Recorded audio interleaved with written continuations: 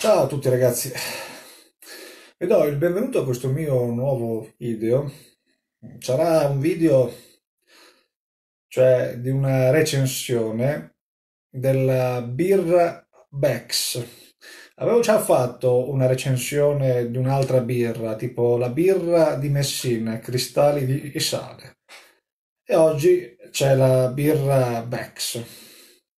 Allora, la birra Bex è una birra tedesca, è, un mar- è una birra di marca, Abex, una, una marca abbastanza cioè, conosciuta rispetto alle altre marche di birre tedesche. Di solito l'avevo avuta un po' di anni, qualche anno fa, che era una birra però era in lattina eh, non era buona, non la mandi neanche giù. È un sapore abbastanza asproso, però in bottiglia è meglio. Poi, poi dopo non so se magari esistono anche sicuramente delle versioni alla, alla spina, però in, in, bottiglia è buona. Cioè, l'unica cosa è un po' asprosa, un po' aruccia. Ho notato che ha un, un tasso di, di livello di alcolico, una birra alcolica a 5 gradi però è abbastanza pompata, cioè sembra che ne ha di più, insomma, è abbastanza forte come birra. È buona, è molto buona, è una birra che ha delle qualità, la, birra in bottiglia. L'unica cosa è che se magari uno non è abituato a bere delle birre un po', un po', un po pesanti, ecco, a Bex ecco, bisogna un po' eh, prenderci un po' di, conf- di, di confidenza perché di solito le birre tedesche, cioè anche le nostre it- it- it- italiane sono buone, però diciamo che le tedesche come l'Oktoberfest o la Primavera Fest che c'è lì a Monaco di Baviera, alla riva di Baviera, eh, delle birre Bex hanno delle qualità migliori. Quindi questa Bex eh, ecco, è, è, di qualità, però è, è una birra eh, ecco, forte, ecco, insomma, per, eh, per poterla bere bisogna essere un po' abituati a bere un po' di birrette, ecco, non è come una classica Poretti che è buona, eh, si manda giù che, che, è un piacere, ecco, lì la, la, la Bex invece è una birra è tosta, ecco, è una birra un po' pesante. Io di solito la bevo un po' alla sera quando mi guardo un film, ovviamente delle, si parla di una bottiglina in vetro che la Bex, una piccolina, una, una birra piccola, tipo un po' più grande di una, di una lattina, non una bottiglia grande di, di birra, anche perché dopo sarebbe troppo, troppo pesante. Però ecco, tipo accompagnato con un film, ecco. Di solito io quando mangio tipo una pizza, eh, la birra la bevo accompagnata da una pizza che di solito è la, è la classica Poretti. Diciamo che la Poretti in Italia è quella che ha avuto uh, più successo di tutte le birre. Magari sono anche altre birre buone, però la Moretti è la classica birra del baffo eh, che ha, ha, spopolato in, tutte, in tutta Italia. Ecco. È la birra più, eh, più, più bevuta in Italia. Poi anche alla spina è buona perché eh, perché, la, perché la, la, Moretti è sempre buona, ecco. tutti la bevono, va bene, la si mangia giù bene, è buona, ha un sapore buono e, e tutti sono contenti, ecco. E questo è importante. È una birra bresciana e, i bresciani la, sanno fare, magari ci metteranno qualcosa che la rendono buona, non so, però ecco questa Bex è una birra tosta, ecco, la birra Bex eh, è per i bevitori di birra abbastanza, abbastanza pesante. Ecco, per chi, per chi è abituato a bere e sopporta un po' l'alcol, anche birre un po' pesanti, eh, la Bex ecco, eh, si, fa, si fa sentire, ecco, bisogna un po' essere abituati. Io vi, vi consiglio la Bex in bottiglia. In lattina non è buona, non, non, so perché sia così.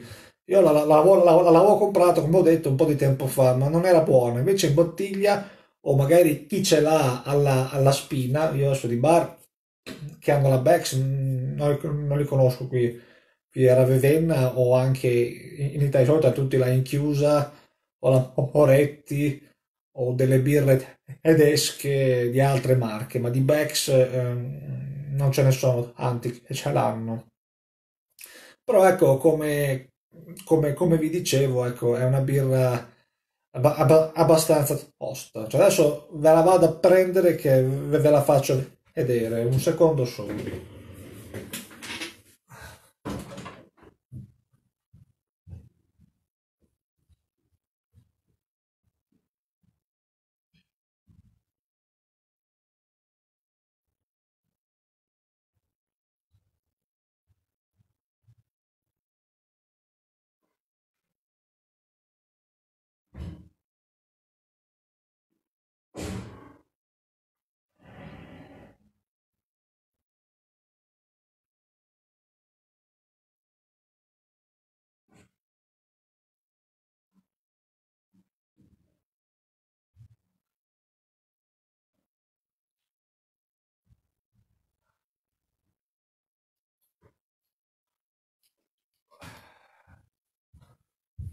Eccomi qua, scusate l'attesa. Ho qui questa birra qua. Eh, non la chance qua.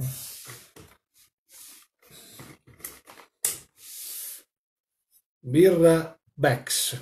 Ecco, ecco, eccola qui. Questa è quella che di solito bevo la, alla sera ogni tanto. Birra Bex. Ecco questa qui. È una, una birra piccola da 33, da 0,33 ed è una birra prodo- prodotta in Ceccia Germania, prodotta da Axe Push, Axe User Pusher. E, e niente, qui c'è a differenza delle altre birre che noi che noi tutti conosciamo, qui ha una data di scadenza, che però di solito può, può anche variare, però questa birra ha una data di scadenza e scadrebbe il 2 febbraio del 2022 questo tipo di birra qui. E secondo loro scadrebbe alle ore 7 e 19 minuti di sera Purtroppo ecco, questa ecco, è la birra, una birra come, come ho detto e marca. Quindi ecco, il, come, cioè, come ho detto è una birra che si fa sentire, bisogna un po' essere abituati a bere un po', un po' di birra, ecco, non è come una classica Peroni, come ho detto, o Moretti. Bene ragazzi, io avrei, avrei già finito, era solo una video recensione. Adesso ultimamente non sto più facendo dei video perché non ho più idee e non ho più argomenti di cui parlare, di, di argomentazioni. Magari mi ne verranno in mente un po' più avanti. Bene ragazzi, io vi auguro a tutti voi una buona giornata oggi c'è un clima molto buono, siamo, c'è il sole, quindi il mio consiglio è magari andate al mare per chi ha il mare nelle vicinanze o in pineta, respirare un po' d'aria. Fin- finalmente siamo in zona gialla, cioè a Romagna è zona gialla e possiamo eh, prenderci delle libertà in più, ecco, finalmente. Noi siamo tutti stanchi questo, queste cose, questi coronavirus qua, queste zone arancioni, gialle, arancioni, non se ne può più.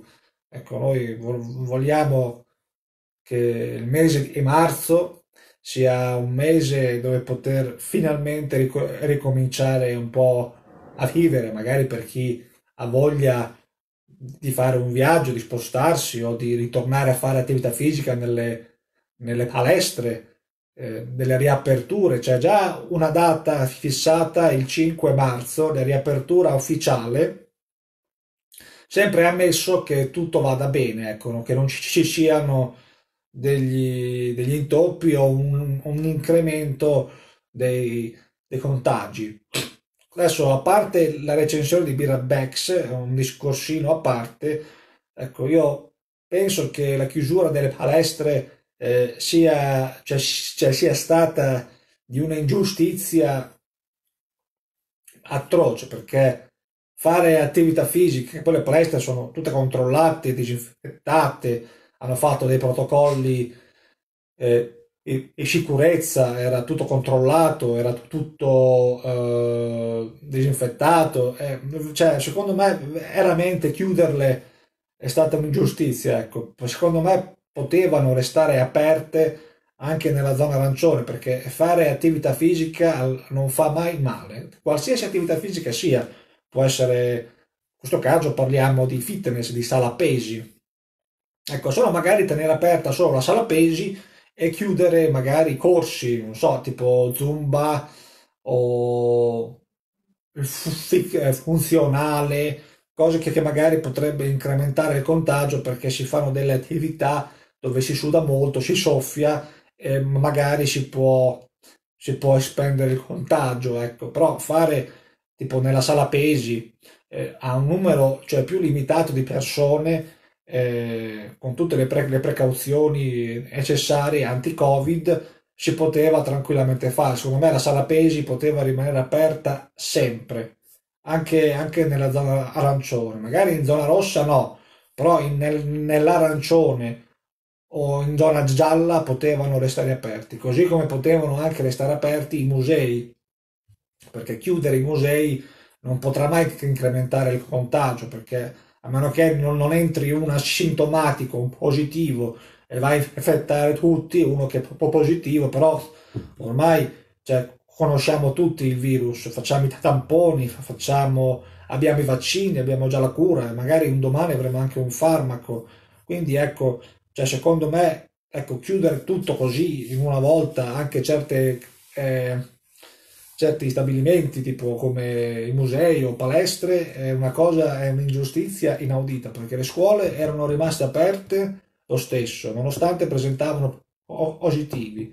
Invece i musei li hanno chiusi senza una ragione. Eh, poi le palestre senza una ragione perché? Perché magari c'era un, una palestra in Italia che non ha fatto, cioè bisogna punire chi sbaglia, no? non è che devono pagare tutti, non è che tutta l'Italia deve pagare per colpa di una persona sola, dobbiamo punire quella persona che sbaglia. E secondo me è così, ecco. Poi, cioè, cioè giustamente, cioè io anch'io sono con loro, con chi ha fatto questa protesta, io riapro, c'è stata anche qui a Ravenna in centro, due, cioè due, due, due ristoranti hanno aperto e eh, hanno aperto giustamente perché erano allo, allo, allo stremo, perché non ce, non ce, la facevano più, perché o mangiano o muoiono queste povere, povere persone, sono state costrette a riaprire, non perché non hanno voluto rispettare le regole, ma perché per un'esigenza economica estrema, erano allo, allo, allo, allo stremo. Quindi ecco, magari usiamo questi sanificatori, purificatori dell'aria, installiamoli, purifichiamo l'aria, disinfettiamo anche la, cioè l'aria con questi sanificatori. Esistono, cioè usiamoli. Ecco, aiuterebbe molto, cioè secondo me. Bene ragazzi, io avrei finito qui. Ciao a tutti.